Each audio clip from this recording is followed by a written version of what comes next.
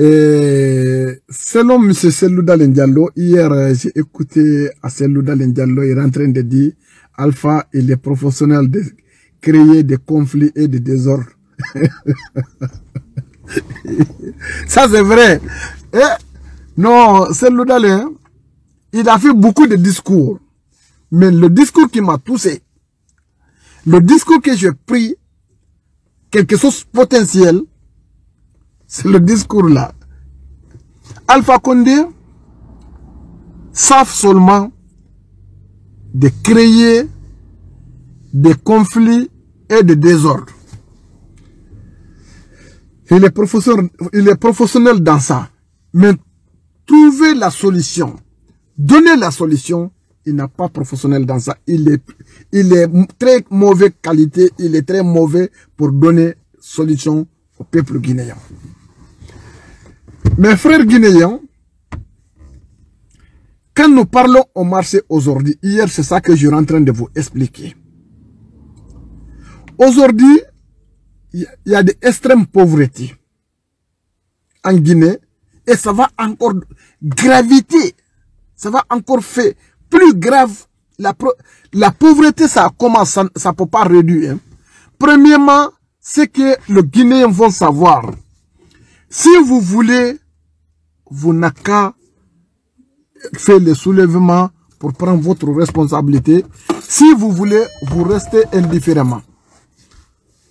Et aujourd'hui, le monde entier est à une inquiétude pour une porte de sortir aux crises mondiales qui a frappé mondialement parce que il y a des pandémies de coronavirus a déstabilisé.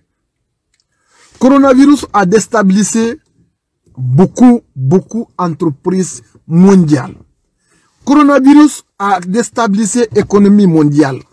Mais la Guinée, c'est exceptionnel. Je vais vous dire, hein, la Guinée, le monde entier, il y a des coronavirus qui a frappé mondialement. Mais la Guinée, c'est exceptionnel. Parce que la Guinée, on a quatre maladies. On a un grand quatre maladies qui est en Guinée. Première maladie, c'est Alpha Condé avec ses clans. Parce que Alpha Condé avec ses clans, c'est un cancer pour la Guinée, c'est un cancer pour la démocratie, c'est un cancer pour la quiétude sociale, c'est un cancer pour l'économie, c'est un cancer pour le progrès, c'est un cancer pour la cohabitation. On a un grand cancer, les tortures Alpha Condé, avec ses clans, mafia, c'est un cancer pour la Guinée, c'est une crise économique pour la Guinée. Parce que, même si il n'y a pas de pandémie, même s'il n'y a pas de coronavirus, mais s'il y a une instabilité politique, si politiquement le pays n'est pas stable, le pays est plus en plus pauvre, misérable sans l'avenir. Quand nous parlons la continent africain, si c'est matériel économie, parce que sous-sol, par exemple, tu sais pourquoi Afrique est, est dernier continent comme sous-développement? Parce que c'est un manque de stabilité politique, c'est un manque de volonté politique. C'est la même chose qui est en train de passer en Guinée, mais en généralement c'est Afrique. N'importe quel pays du monde, pourquoi Europe là, pourquoi Occidentaux est, est, est débloqué, pour qu'il y ait des développements occidentaux, parce qu'il y a des stabilités politiques. Par tout l'endroit, là où il n'y en a pas, là où il n'y a pas de, là où il a pas de stabilité sociopolitique, hein, toujours ces pays-là va être pays plus en plus pauvre, misérable, sans l'avenir. Depuis Alpha Condé est venu au pouvoir en Guinée, chaque, chaque mois, chaque semaine, chaque semaine, chaque mois, il, provoque les crises sur crises. Si ce n'est pas désordre, c'est créer des conflits. Si ce n'est pas conflit, c'est désordre. Donc toujours, il y a, y a politique dans notre pays. Un pays qui n'est pas stable, politiquement, un pays qui n'a pas de vision, un pays qui n'a pas de procès de société, un pays qui n'a pas de progrès, qui n'a pas d'argument solide, est-ce que ce pays-là c'est stable? Est-ce que ce pays-là peut avoir un progrès? Chaque jour, il y a des conflits. Chaque jour, il y a des désordres. Chaque jour, il est en train de créer des ennemis, ennemis, ennemis, ennemis au peuple guinéen. Partagez ces vidéos, je vous en prie. Envoyez ces vidéos à différents groupes. Les ennemis de la République de Guinée, même si vous voulez que je ne peux pas parler ici, faut devoir parler. Donc, si vous voulez vous, vous pleurer, si vous voulez vous danser, si vous voulez, vous doit être content, ça me fait ni chaud ni froid. Donc, euh, c'est le citoyen d'honneur de la République de Guinée qui est en train de parler. Il faut que, si vous voulez pas écouter les citoyens d'honneur, vous allez dégager sur ma page de Facebook. Ça me fait ni chaud ni froid. Je suis le citoyen d'honneur de la Guinée. Je suis un don pour la Guinée. Je ne suis pas le même niveau avec votre petit dieu, Alpha Condé. Parce que c'est une personne qui est ennemie de la Guinée. C'est une personne qui est ennemie de la humanité.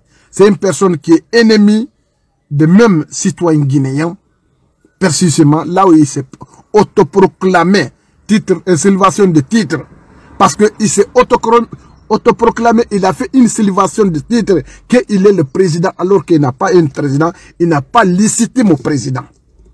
Il n'a pas la légitimité des présidents, il n'a pas président légitime. Donc moi, citoyen d'honneur de la République de Guinée, je ne suis pas le même niveau que vous. Parce qu'il a fait une sylvation de titre.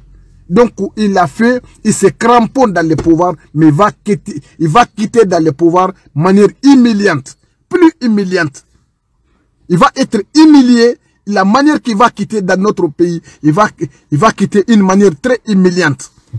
Parce que le dernier jour de la dictature, comment une dictature va finir, c'est extrêmement dangereux. Donc, c'est raison pour laquelle vous, les ennemis de la République de Guinée, apatrie, c'est regrettable de partager un pays avec vous. Si vous, si vous, moi je peux pas vous appeler de venir ici, de m'écouter. Je peux pas vous appeler ici, venir de m'écouter. Si vous ne voulez pas entendre ce que je veux dire, si vous ne respectez pas mon pensée, vous allez dégager sur ma passe. Entre un point. Il y a ça. Pas, plus que ça. Dans un pays, là, où il n'y a pas de stabilité politique, là où politiquement, dans un pays là où politiquement le pays n'est pas stable, toujours le pays a des problèmes pour avancer. Toujours le pays a, a, des problèmes pour vivre ensemble. Toujours le pays peut avoir des problèmes pour des progrès, pour la stabilité, pour la sécurité. Parce qu'il n'y a pas, de cohésion. C'est une partie seulement, c'est une partie unique. C'est une partie seulement qui dirige la Guinée. Maintenant, même, ils vont prendre certaines décisions.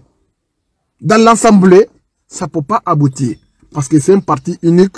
C'est une partie, c'est un gouvernement bancal. Un gouvernement bancal n'aura pas la stabilité. Un gouvernement bancal n'aura pas une crédibilité. Parce que la crédibilité des gouvernements bancal est en danger. Ils sont plus crédibles, le gouvernement bancal. Raison pour laquelle, donc, notre cancer, notre maladie, notre euh, pandémie de coronavirus, notre Ebola, premier Ebola, première pandémie, premier coronavirus, c'est Alpha Condé. Qui savent rien, qui ne qui, qui donne pas la solution. Sauf désordre et des conflits et des conflits. Même notre pays voisin, toujours, il, nous crée des problèmes, des conflits. Même si, maintenant, si le Guinéen, parce que quand on parle l'unité nationale, ou bien quand on parle pana-africain, ou bien quand on parle de CDAO, la Guinée sont l'un des pays qui est fondateur, membre fondateur de CDAO, membre fondateur de Pana-Africain, membre fondateur de l'Union africaine. donc maintenant, si c'est nous, notre dirigeant incompétent, notre dirigeant incompétent, incapable, notre dirigeant qui n'a pas la tête bien posée, qui a un cerveau de moustique, qui a un cerveau de poulet, qui va créer le désordre avec notre pays voisin, c'est extrêmement dangereux. Maintenant, c'est notre dirigeant-là qui s'est autoproclamé de titre, Sylvation de titre qu'il est le président, il n'a pas président, qui, qui s'est autoproclamé qu'il est le professeur de droit alors qu'il n'a pas de professeur de droit. Sylvation de titre. Parce que en 92, il a dit que, lui, il est sexologue. Il est sexologue. Alpha Condé a dit en 92 que lui, il est sexologue. Maintenant, en 2010, il dit qu'il est le professeur de droit. Est-ce qu'il a augmenté son profession? Il a augmenté son étude? Ou bien il est parti où? Où il a augmenté? Comment il a eu le doctorat? Donc, maintenant, mais à part de tout ça là, son détermination, son bilan, c'est négatif. Sauf une égoïste personnelle. Et maintenant, ça c'est le premier problème qui est dans notre pays, c'est Alpha Condé. Deuxième problème, c'est la corruption. Parce que je dis, il y a quatre problèmes. Deuxième problème, c'est la corruption. La corruption est gangrène dans notre pays.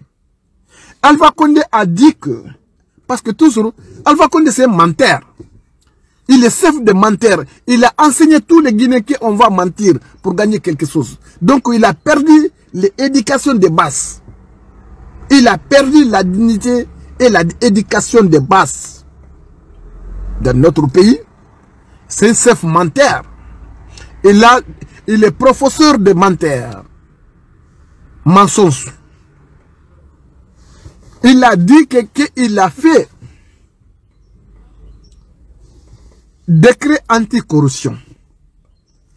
Il ne suffit pas d'écrire un papier que je lutte contre la corruption. Il faut que tu poses des actions dans le terrain. Il ne suffit pas d'écrire un communiqué, écrire un décret, que je fais la lutte contre la corruption, que je fais l'anticorruption. Il ne suffit pas ça. Il faut que tu poses des actions, il faut que tu poses des actes dans, euh, dans le terrain. Là, à un moment donné, il est parti dans le ministère de la Grand ministère de Bilzé de fonctionnement de la Guinée. Il est matiné là-bas, a créé le théâtre, un grand théâtre là-bas en disant, je suis là, tous les, tous les fonctionnaires de l'État, tous les ministres doivent entrer dans l'air et doivent sortir dans l'air. Ça, ça, il suffit pas comme ça là. Djenabu Nabaya, eh, Dramé, Nabaya, a, détourné 20 millions d'euros. Maintenant, si il s'agit de lutter contre la corruption, comment on doit le faire? On doit, on doit sanctionner d'abord Nabaya, suspendre dans son fonction, faire l'enquête judiciaire si vous voulez mettre fin à la corruption. Alpha Condé a pris 4 millions d'euros, envoyé à Niger, donné les opposants, opposants Niger, pour donner l'appui à quel but il a fait ça, à quel, quel euh, réellement est-ce que le budget a été sorti dans la caisse de l'État ou bien l'a sorti dans son propre poste, combien, combien lui il a gagné par jour? Et comment ça a été financé, comment est-ce qu'il a donné les détails aux Guinéens? Ça c'est pas la corruption. Est-ce que comment lui peut lutter la corruption alors qu'il est pourri dans la corruption?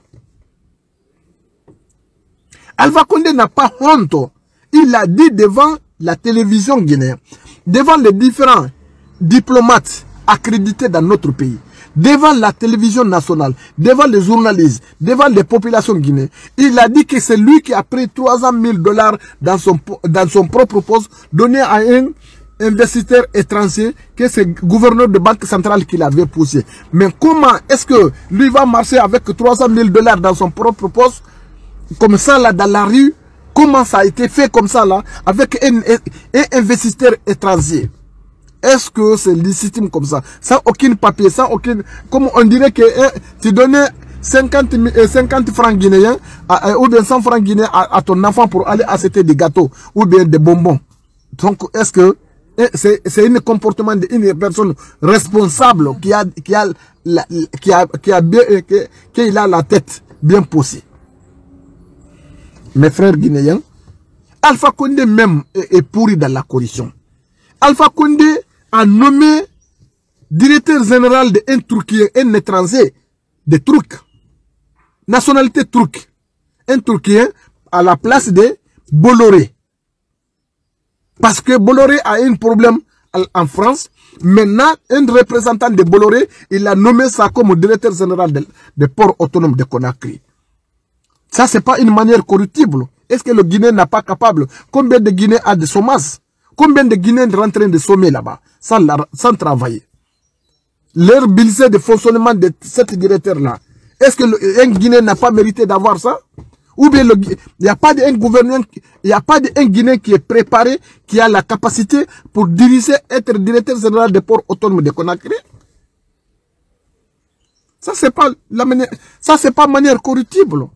Ça, c'est pas manière euh, malhonnêteté. Oh là là, mes frères guinéens. Donc, oh, la corruption est énorme. on peut parler de la corruption même euh, dans ce dernier temps-là, il y a des vidéos qui circulaient dans les réseaux sociaux et des ministères des fonctions publiques. Donc, ils sont en train de payer, euh, euh, prendre l'argent dans les mains des citoyens guinéens. Combien de citoyens guinéens payé 15 millions francs guinéens, 20 millions francs guinéens pour avoir leur matriculation, leur matriculation dans les fonctions publiques. Ça, c'est pas corruption Alpha Condé est au courant de ça. Il a pris quelles mesures Est-ce qu'il a puni? Est-ce qu'il a condamné? Donc, notre grand problème, donc c'est l'un des problèmes de la corruption. Quand nous parlons le marché, hier vous avais expliqué, marché va être dur. Au lieu de, on va dire, on va vendre un, un, pain. Euh, au lieu qu'on va fixer un pain, c'est 200 000 francs guinéens, ou bien c'est 100 francs guinéens, ou bien c'est 2 000 francs guinéens. C'est pas la solution. Il faut diminuer le prix de dédouanement. Il faut diminuer le prix. Administrativement, quand on envoie le pain, quand on, quand on, on va aller euh, acheter des farines, parce que la Guinée, on fabriquait des farines en Guinée. Le farine, c'est transporté. Maintenant, quand on va aller acheter des farines pour, euh, pour faire du pain, le dédouanement, la personne qui va aller acheter des farines, lui, il va payer son billet d'avion. Il va payer son logement. Il va payer le, euh, le pendant le séjour là où il va aller acheter des marchandises. il faut qu'il va payer son manger. Il va payer beaucoup de choses. À la même temps, payer les navires, bateaux navires pour transporter ça, envoyer à Guinée pendant de, euh, payer les, les trans, euh, transitaires, le pays d'origine et le pays destinataire en Guinée. Arrivé en Guinée, il va payer les transitaires là-bas. Il va payer le, terminal de Conakry. Il va payer les compagnies de Conakry. Il va payer les compagnies de bateaux. Il va payer les compagnies euh, de, Bolloré. Il va payer les, dans les caisses de l'État, encore comme les impôts. À la même temps, il va payer les douanières qui vont faire la euh, prélèvement. Donc tout ça là, ça coûte cher. Maintenant, c'est la personne qui, a, qui est partie acheter des sacs de farine. Si sac de farine coûte, par exemple, 100 000 francs guinéens en étranger, pour rentrer jusqu'à dans son magasin, il va financer plus de 300 000 francs guinéens de financement. Est-ce que lui, il peut, comment il peut gagner si il n'a pas gonfler le prix sur, euh, sur le dos des populations? Maintenant, c'est le prix de la dictature, c'est le peuple qui paye. Il ne sait pas, il faut diminuer le prix du pain. Il ne sait pas, ou il faut petit, euh, petit pain là, comme quand, quand, comme, combien de grammes pour réduire les grammes de pain. Ça ne suffit pas comme ça là. Hein? Donc, il faut passer dans les pragmatiques, une manière technique et pragmatique. C'est pour diminuer le, le dédouanement en Guinée, diminuer les conditions de tous les dédouanements, diminuer les frais aux commerçants quand ils vont transporter en Guinée pour les transporter de l'alimentation en Guinée. Il faut diminuer le prix des dédouanements des ports autonomes et des, des Bolloré et des compagnies, ainsi de suite. Il faut négocier. C'est ça la solution. Si tu veux que, si tu voulais donner la solution au Guinée pour que le prix de marché va baisser, va, va être raisonnable, raisonnable, un prix raisonnable que le peuple guinéen peut le payer, arriver à payer, il faut, il faut diminuer les dédouanements. Il faut pas être hypocrisie. Dans la hypocrisie, qui montre aux populations guinéennes, envoyer les policiers. Allahu Akbar envoyer les policiers au marché, qu'il que vous diminuez le pain de prix, et donc créer une estacle, un théâtre devant la population guinéenne, qu'ils vont lancer ça dans les réseaux sociaux. On dit que l'État est en train de travailler. Alors que vous rentrez de trahir les consciences guinéennes, vous rentrez de faire une manipulation. Ça, c'est une manipulation. Vous savez que comment, si vous voulez régler des problèmes, comment on règle Comment on résout ces problèmes? C'est pas pour aller au marché. Un vendeur de pain, quelqu'un qui a des brouillettes, un vendeur, c'est un travailleur innocent. Lui, il est en train de chercher plat de jour à manger. Parce qu'il prend les brouillettes, le, euh, gens qui fait les farines, les, gens qui vendent les farines, les gens qui a des fours pour préparer des pains, euh, euh des pains, les, gens qui préparent des pains, c'est eux qui prennent les vendeurs là, avec leurs brouillettes, ils vont aller acheter des engrossistes pour qu'eux aussi, puissent avoir un peu de bénéfices pour qu'il puisse avoir le prix, le, plat de jour à manger. Parce que le Guinée ne mange pas deux fois par jour. Euh, en plusieurs, en plusieurs, euh, en plus forte raison, trois fois par jour. Maintenant, avant d'aller attaquer le pays, un pauvre, misérable, innocent, qui connaît rien, il est vendeur de, dans les brouillettes. Allez attaquer ces brouillettes. Quelqu'un qui vend dans les brouillettes, ce qu'on voit dans les réseaux sociaux, toi, tu sais que si vous voulez résoudre ces problèmes, tu sais que comment on résout les problèmes. C'est pas dans le marché là, c'est pas une personne qui, qui vendeur de un là, qui, pour aller s'attaquer à, à, cette personne là, parce qu'il est faible, il peut pas se défendre seul, parce qu'il n'a pas ses capacités, parce que c'est lui les, c'est lui les personnes vulnérables. Attends, je vais aller attaquer, humilier la personne et, créer une scandale, créer un conflit, un euh, désordre en public. Donc, en disant, c'est eux qui est coupable, alors que le, le, vrai coupable, tu sais où se trouve le problème, le source des problèmes. Alpha Condé. Il faut être honnête et sincère et transparent. Il faut être, il, faut quitter dans les mensonges, il faut quitter dans les malhonnêtetés. Nous, on connaît la réalité, on connaît la vérité, on connaît comment résoudre des problèmes. Si vous êtes incapable, vous n'avez pas la capacité, vous, vous n'avez pas un savoir, nous, nous sommes là pour, euh, pour vous détailler comment la, la sauce, comment on fait des choses. Raison pour laquelle je vais cette vidéo pour, pour vous rappeler, nous les Guinéens, on connaît les sources des problèmes. Donc, il ne faut pas faire l'amalgame.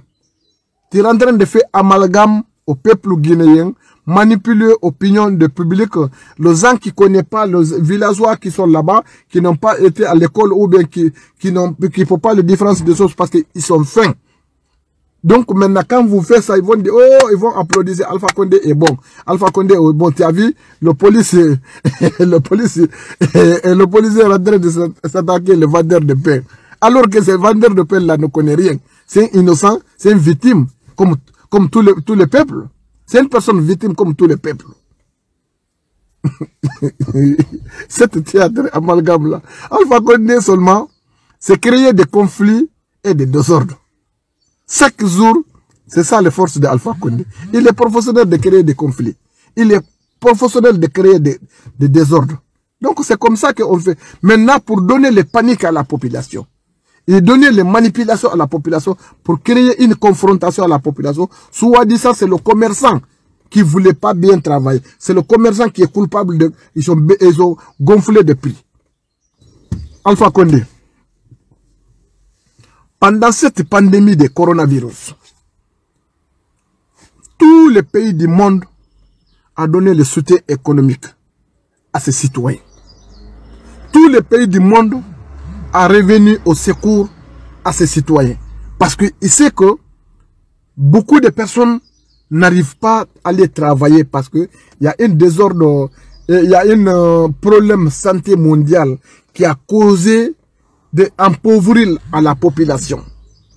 Toutes les populations, 90% des populations mondiales, ou bien 80% des populations mondiales, ne euh, vont pas aller au travail vie à vie à la situation de pandémie de coronavirus. Si ce n'est pas les gens qui travaillent dans la santé, le travail qui, les gens qui travaillent dans la santé, ou bien les gens qui ont des supermarchés, et les nécessités basiques humaines, si ce n'est pas ces gens-là, personne ne travaille. Presque. Raison pour laquelle tous les bons États, tous les, bons gouvernements, et, ont fait une, exceptionnellement une autre, autre secours. Ils ont, fait exceptionnellement une autre budget de fonctionnement pour revenir au secours, pour donner leurs citoyens de, le pain de jour, comme plat de jour à manger. Même, malgré, même si ça ne suffit pas, quand même, ils vont donner quelques appuis moraux, quelques appuis économiques, quelques soutiens pour que ces, populations-là, pour que ces citoyens-là, pour pas être, euh, euh, pas être dans le stress incontrôlable avec, dans le désespoir, ils donnaient les appuis, ils donnaient économiques.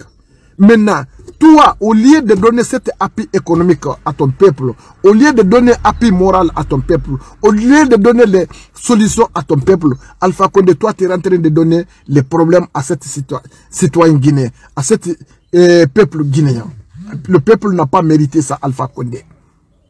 Alpha Condé, peuple n'a pas mérité ça. Il faut que tu quittes dans les malhonnêtetés. Si vous êtes incapable, quittez là-bas il y a beaucoup de Guinéens qui sont capables, qui peuvent faire les problèmes des Guinéens. Il faut que vous quittez là-bas. Il ne faut pas te cramponner dans le pouvoir avec une situation incompétente, irresponsable. Tu, n'as même pas la solution, tu n'as même pas capable de donner solution aux Guinéens. Maintenant, tu vas te cramponner là-bas par la force. Alpha, c'est pas normal. Il faut être une personne, une bonne personne pour tout bon. Alpha Condé, ton âge avancé. Chaque jour qui passe, tu es proche de la mort. Chaque jour qui passe, tu es proche de la mort. Il ne faut pas mourir comme ça, avec tous les Guinéens sont en colère avec toi. 90% Guinéens est, a des mécontentements envers toi. 90% a des, des Guinéens est, en colère contre ta personne, contre ton gouvernement là. Si tu es mort avec ces situations, tu auras pas, tu peux pas te reposer au, au de là. Tu, tu, vas avoir beaucoup de difficultés. Donc, voici l'un des problèmes de la Guinée. Le troisième problème de la Guinée, c'est la haine, c'est la ethnocentrisme, c'est la mécensité, c'est la méfiance, une discrimination, raciale. C'est le troisième, troisième point important qui fait la souffrance aux Guinéens. C'est la haine, c'est la méchanceté, c'est la méfiance, c'est la desconfiance entre le peuple et la division ethnique. Avec l'arrogance de certaines personnes. C'est ça qui est le troisième problème majeur de notre pays qui est difficile à soigner, qui a causé Alpha Condé encore. Chaque personne, avant, il n'y a pas de trop de union. Quand les bascottes, les gens de bascottes, de Sosota, ou bien les gens qui, qui communiquent au nom de la communauté Soso, quand ils parlent, tu vas dire, oh là là, tu vas appuyer ta tête, tu vas dire, oh, oh bon Dieu, bon Dieu. Comment ils vont arriver à exprimer, comment ils vont arriver à parler ou bien penser jusqu'à tel niveau? Parce que tout le monde devenu haineux, tout le monde devenu extrémiste, tout le monde devenu rancunier et avec méfiance, avec desconfiance entre l'un et l'autre. Maintenant, quand la communauté peut témoins guinéens parlent, tu vas appuyer ta tête.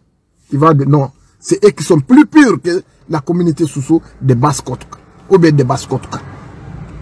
Maintenant, quand la communauté Manding parle, tu vas dire non, les ne sont rien fait. C'est la communauté Manding qui est plus pire encore. Les Guinée forestiers, c'est la même chose encore.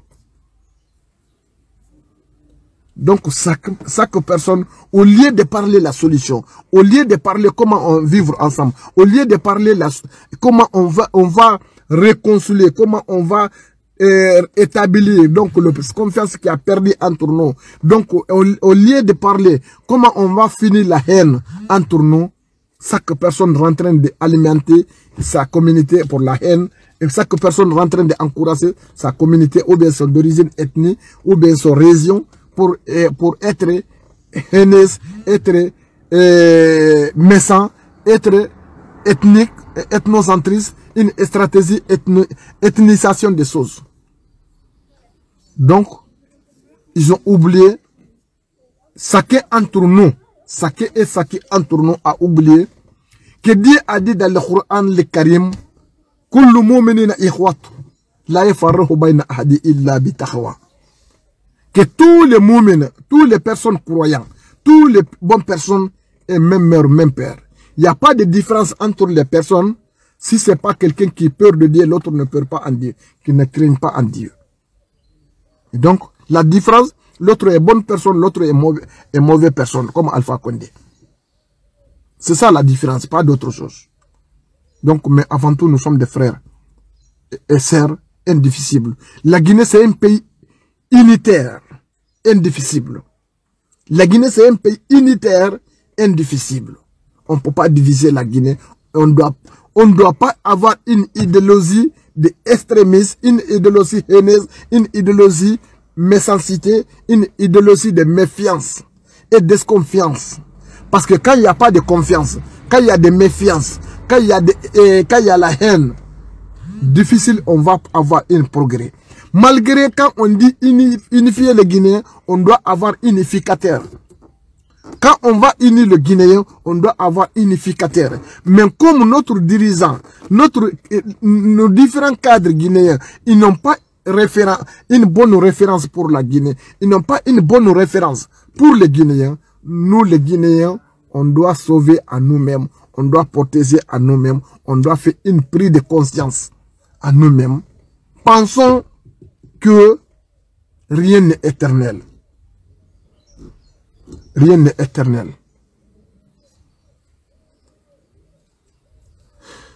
Pensons que rien n'est éternel, sauf le pouvoir de Dieu, subhanahu wa ta'ala.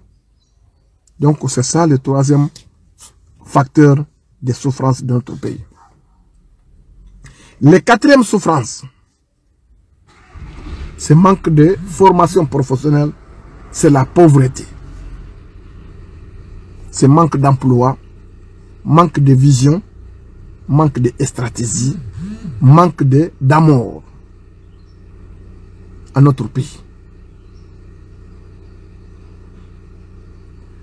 Quand il n'y a pas d'emploi,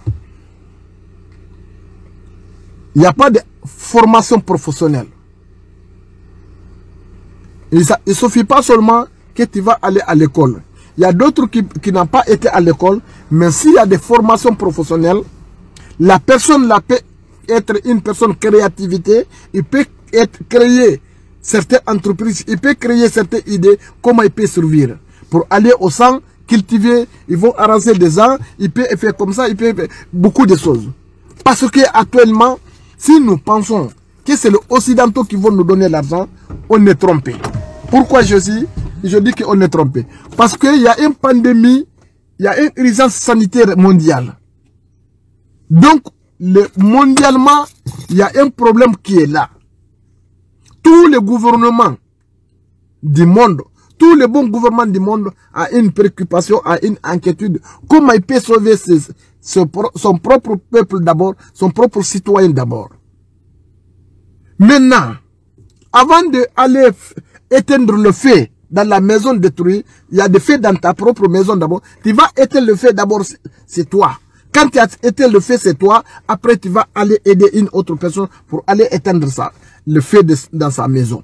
Maintenant, chaque gouvernement a une feu dans son propre maison à cause de ces pandémies. Maintenant, nous les Guinéens, donc si nous attendons des donations, si nous attendons des aides occidentaux ou bien une autre endroit, nous, on n'a pas être personne qui va penser la créativité et penser comment on peut sortir des crises économiques, crise sociale, crise politique, crise de tout. C'est nous qui va prendre les conséquences des pots cassés. On ne doit pas compter sur Alpha Condé. On ne doit pas compter sur le gouvernement d'Alpha Condé. Parce qu'ils ont une mauvaise qualité de gouvernement. Ils ont une mauvaise référence pour, pour nous les Guinéens. Donc, ils n'ont pas quelqu'un qui peut être une référence pour nous.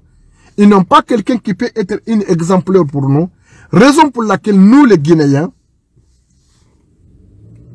on doit penser, réfléchir une porte de sortie. Tous les problèmes du monde, la humanité, toujours, les jours que tu, es né et les jours que tu vas mourir, toujours, il y a, des problèmes dans la vie. Mais quand tu es confronté à un problème, il ne faut pas rester dans les problèmes, pleurer, pleurer que je suis dans les problèmes. La solution c'est quoi? Dieu nous avait donné le cerveau, Dieu nous avait donné le pensée, Dieu nous avait aimé que nous on peut réfléchir, on peut analyser pour trouver une porte de sortie. Quand il y a des faim, il faut aller cultiver. Quand tu cultives, tu vas trouver à manger. Quand il y a des, quand il y a des crises sociales, il faut organiser le social, parler entre nous, dialoguer entre nous. Euh, euh, donc, quand il y a des problèmes, n'importe quel problème, il faut, il suffit de faire analyser, faire les synthèses, analyser des problèmes d'abord. Qu'est-ce que qui peut être comme solution? Mais il ne suffit pas seulement de pleurer, pleurer parce que j'ai des problèmes, j'ai des problèmes.